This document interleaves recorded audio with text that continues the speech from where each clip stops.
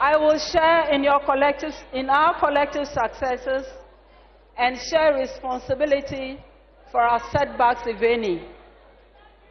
And at the time of reckoning, Your Excellency John Dramani Mahama, I will not, in the advancement of self serving ambition, declare to the whole world that I was only the driver's mate.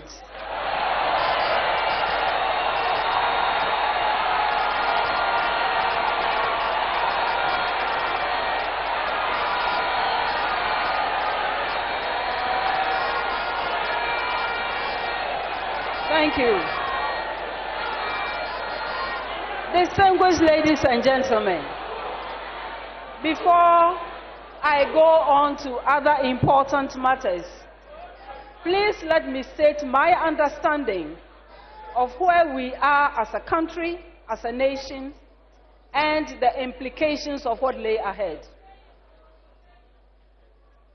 The election ahead is not so much about Ghana making history, although that is important. It is not so much about returning a competent president back to power.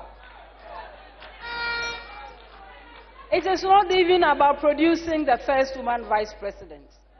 Historical and exciting though these are, it is not only about bringing the NDC back to power, although that is indispensable in our current circumstances.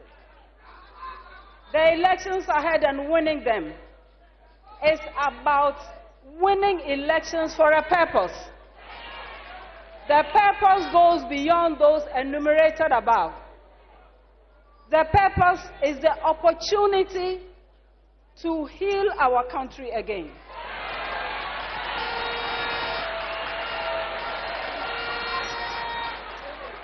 It is about the opportunity to pull Ghana back from the precipice of destruction, of normalizing corruption, of incomprehensive greed, from deep despair.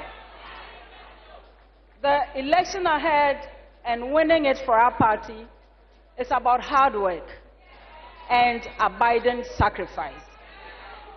It is to embrace everyone in building a Ghana that functions again.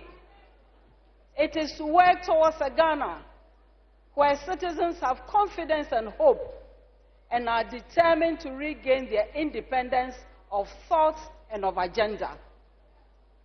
We must work towards a Ghana that, at the very least, can feed itself. We know we can.